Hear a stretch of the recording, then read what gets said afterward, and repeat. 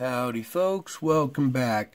So this morning I was checking out the instruments and um, the SOHO satellite that we usually use has a lot of missing data and just really blotchy information and I thought I'd go to a different satellite to see if it picked up anything and here we are. This is Stereo Ahead satellite at March 2nd of 2021 and you can see we've had another CME come off the backside of the sun. You can see the instrument reacting to it right here.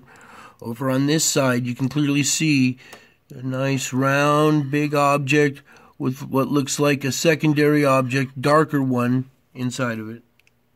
So let that play for a couple of times and then we'll go through it frame by frame.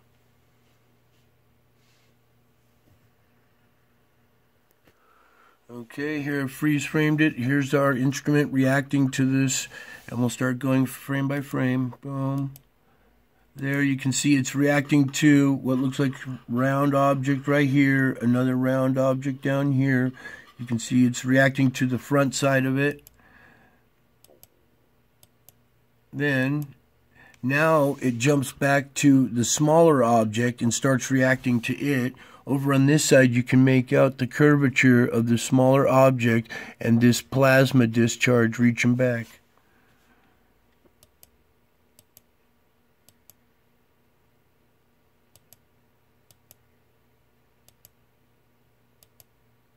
And you can see how this is nice round little object right here with a bigger one behind it. You can see the plasma tailing or you know trailing behind it this little tail here. Over on this side it's this nice little white long streak right here.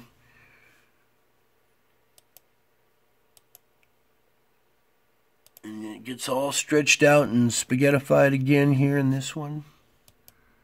Alright, let's put this back into motion.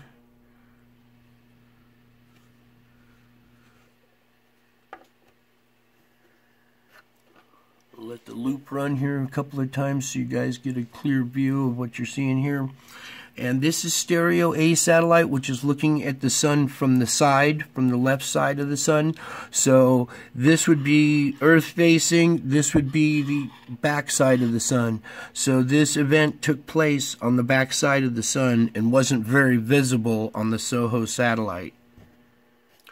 Okay, here we are at the SOHO satellite again, um, March 2nd, 2021. And over on this side, you can see the halo blast effect with this starting to, you know, come off the side here.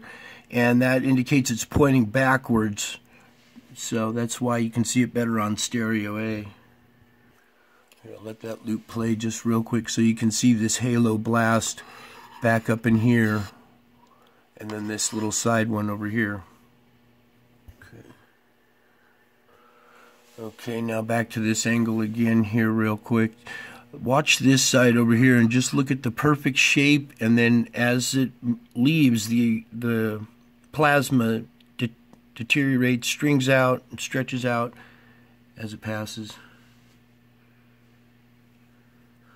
So, been a lot of activity lately. Usually, lately it's been on a daily event, if not twice or three times a day now. So, getting really busy around the sun, and so I got to bring this stuff to you so everybody gets to see it and understand what's going on.